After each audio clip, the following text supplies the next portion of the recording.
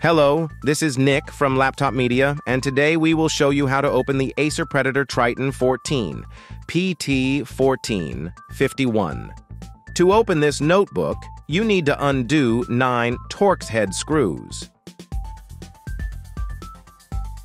Then, you can start prying the bottom panel from the front, or you can just pop up the plate by carefully raising it while holding firmly the two plastic vents on the back. Please remember, it would be of great help to us if you just hit the like button and subscribe to our channel. That would motivate us to make even more and better videos for you. The battery isn't held in place with screws because there is a dedicated socket for it on the inside of the bottom panel that is keeping the unit fixed to the chassis. The battery is a 76 watt hour model. If you want to take it out, detach the connector from the motherboard and lift it away. The capacity is enough for 6 hours and 40 minutes of web browsing or 5 hours and 53 minutes of video playback.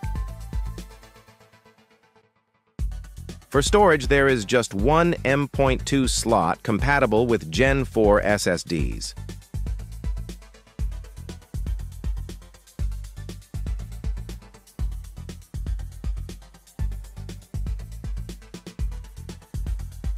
The memory is soldered, but you get up to 32 gigabytes of LPDDR5, 6000 megahertz RAM, which sounds plenty.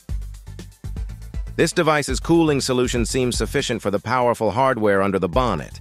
It comprises two fans, three heat pipes, four heat sinks, and two large heat spreaders.